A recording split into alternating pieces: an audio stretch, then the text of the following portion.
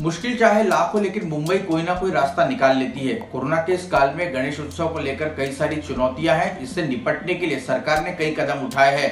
Moving विसर्जन स्थल से लेकर कृत्रिम विसर्जन स्थल तक कई सारी व्यवस्थाएँ की है।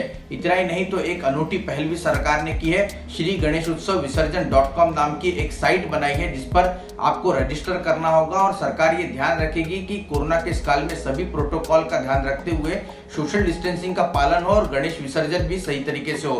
क्या कुछ सरकार ने व्यवस्थाएँ की है? चलिए मैं आपको बताता हूँ। जो लोग घर में गणपति बप्पा की प्रतिष्ठापना करते हैं उनसे बीएमसी ने आग्रह किया है कि वो गणपति बप्पा की मूर्ति जो है वो तीन से चार दिन पहले ले आए। आमतौर पर मूर्ति जो है वो एक दिन पहले घर में लाने की प्रथा देखी जाती है। मुंबई में कोरोना वायरस के प्रकोप को देखते हुए इस बार बीएमसी ने मूविंग विसर्जन स्थल बनाए हैं जो कि मुंबई के अलग अलग वार्ड में घूमेंगे और जो गणपति बापा का जब विसर्जन होता है तो उस मूविंग विसर्जन स्थल में अपनी गणपति बापा की मूर्ति का विसर्जन करेंगे। ये मूविंग विसर्जन स्थल एक ट्रक में बनाया गया है, जिसके अंदर पानी भरा गया है और वे अलग अलग जगहों पर घूमकर विसर्जन का काम जो है वो करेंगे।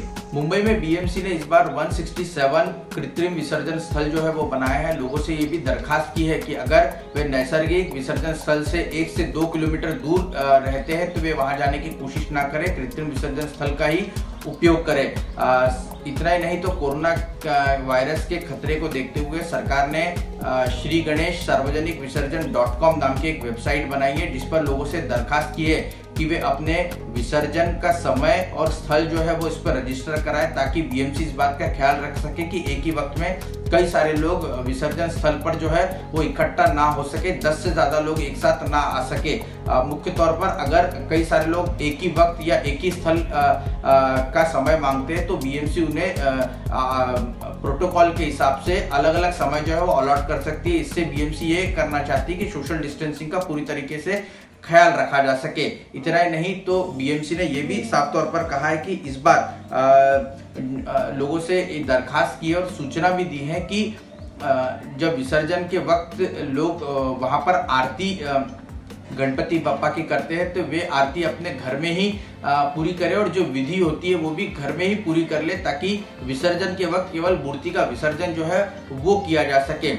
उधर महाराष्ट्र सरकार के गृह विभाग ने भी दिशा निर्देश जो है वो जारी किए है। इसके पहले ही सरकार ये कह चुकी है कि सार्वजनिक गणेश उत्सव मंडल में इस बार गणपति बापा की मूर्ति जो है, वो चार फीट से ऊँची जो है वो नहीं हो सकती। इतना ही नहीं तो जुलूस निकालने को लेकर भी पूरी तरीके से इस बार रोक जो है वो सरकार की ओर से लगाई गई है। सरकार ने ये भी कहा है कि गणपति बप्पा की जो आरती होती है, उसमें ज़्यादा लोग ना जुटे। इस तरह की व्यवस्था जो है उसका ख्याल सार्वजनिक गणेश उत्सव मंडलों को रखना होगा। खासतौर से सोशल मीडिया का उपयोग कर कर लोग आरती में शामिल हो सके। इस तरह की व्यवस्था जो है, वो सार्वजनिक गणेश उत्सव मंडलों ने करनी चाहिए। इस तरह की सूचना जो है, वो गृह विभाग की ओर से दी गई है।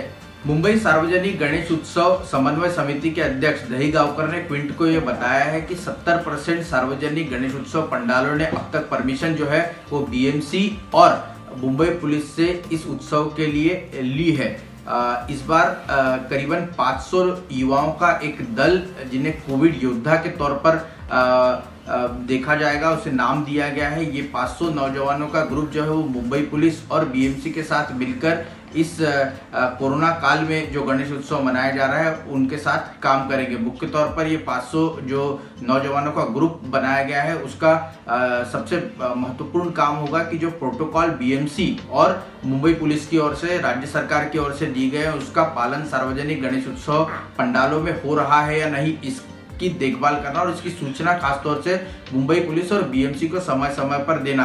और कोरोना का एक काल होने की वजह से अगर किसी सार्वजनिक गणेश उत्सव मंडल के यहाँ पर कोई व्यक्ति कोरोना पॉजिटिव पाया जाता है तो उसकी तुरंत सूचना बीएमसी को देना, टेस्ट कराना, आसपास के लोगों का संपर्क उनसे कितना आया था ये सारी जो जानकारी होती है वो बीएमसी और मुंबई पुलिस से समय समय पर साझा करना। हमें जो जानकारी मिली है उसके मुताबिक इन युवाओं का मुंबई पुलिस और बीएमसी के वार्ड ऑफिसर्स के साथ अलग अलग जगहों पर एक व्हाट्सएप ग्रुप भी बनाया गया है, जिसमें समय समय पर इस तरह की जानकारी जो है वो देने का प्रावधान और इन्हें उस तरह की सूचना जो है वो दी गई है।